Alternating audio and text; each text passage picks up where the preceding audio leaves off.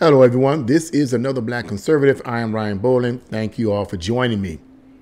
What I want to talk about in this video is an article I read that stated right up front that California, within the last year, has released thousands of convicted pedophiles. You heard that right. California has released thousands of convicted pedophiles within the last year. Now, within the article, it talks about the UK Daily Mail doing an investigative investigation into this, and they have come up with the answer, or rather, the results that California has released thousands of convicted pedophiles within the last year in the state of California. Now, that is atrocious. Let's get into this article right now. That's beyond reasoning, you would think. But let's get into this. California has released thousands of convicted pedophiles after spending only a few months in prison. Such pedophiles have been convicted of, quote, a range of horrific acts, including raping kids under 14, according to the study investigation conducted by the UK Daily Mail. More than 7,000 persons con convicted of, quote, lewd or lascivious acts with a child under 14 years of age have been released in the same year they were convicted. Convicts who committed even more heinous crimes, such as sodomy and rape of children, also served short sentences. Now, you please, before I go any further, try to justify this. Try to justify this in any way you can. It's hard to justify this, isn't it?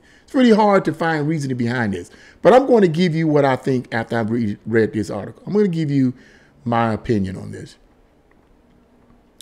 Thousands of child victims are being denied justice, and George Gascon and his group of radical prosecutors can care less. Los Angeles Deputy District Attorney Jonathan Hatamaia, Hatamaia, who serves in the complex child abuse unit and whose outspokenness about DA Gascon contributed to a recall effort, told told told the Daily Mail.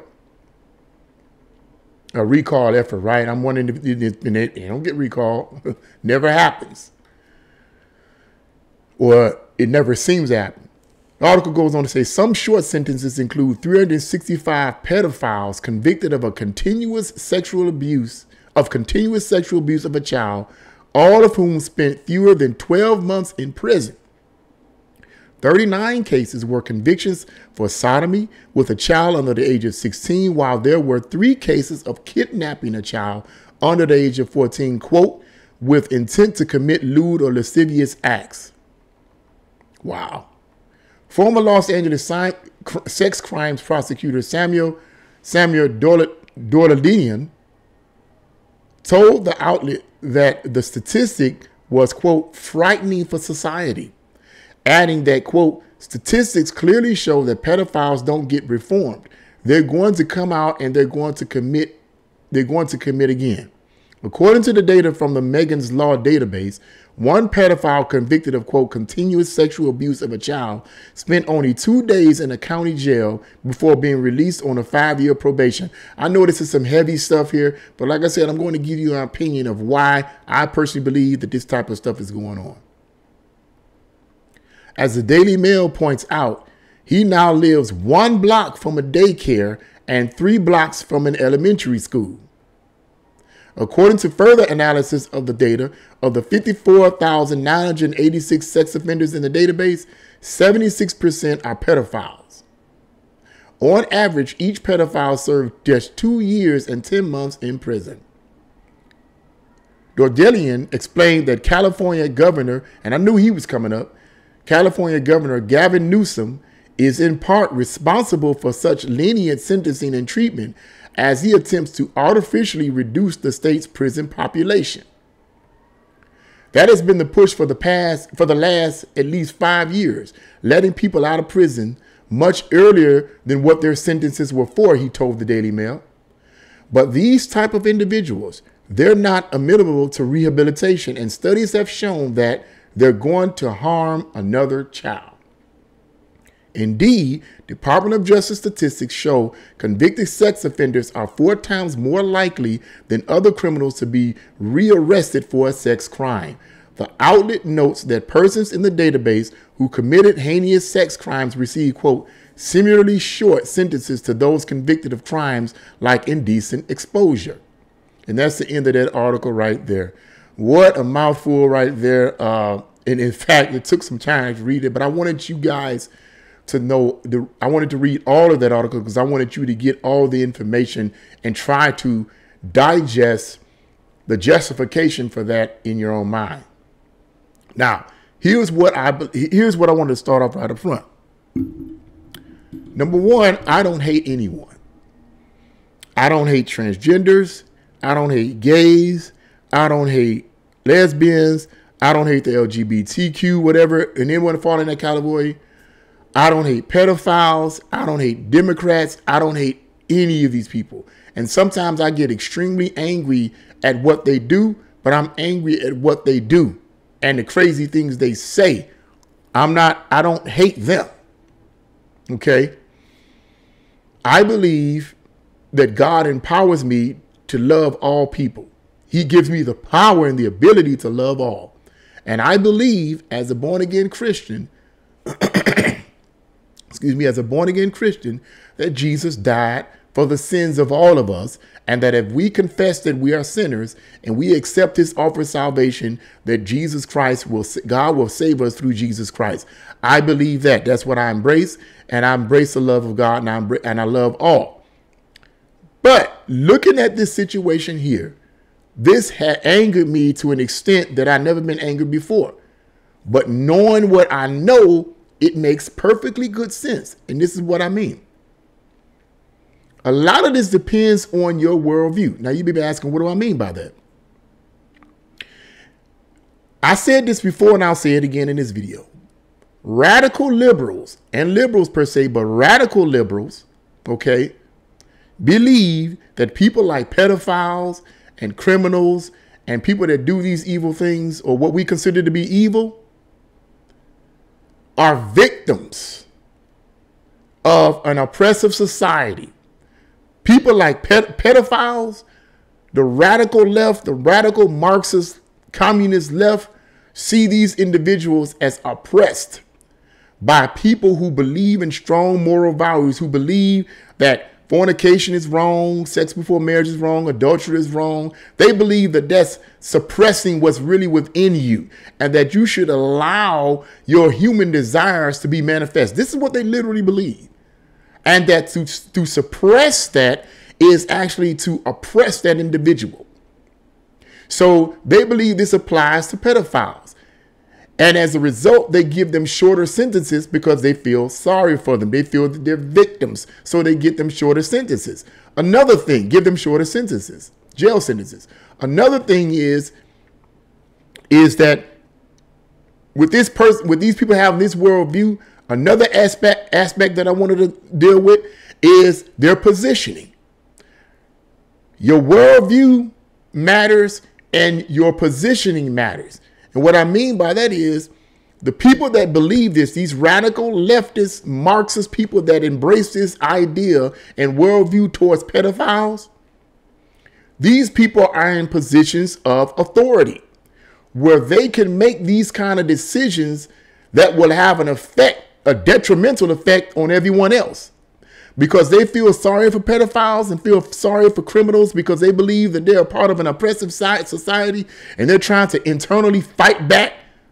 Okay, that these radical leftists do not see that. They don't see that. They're not going to acknowledge that these people are harming the vast majority of people in society.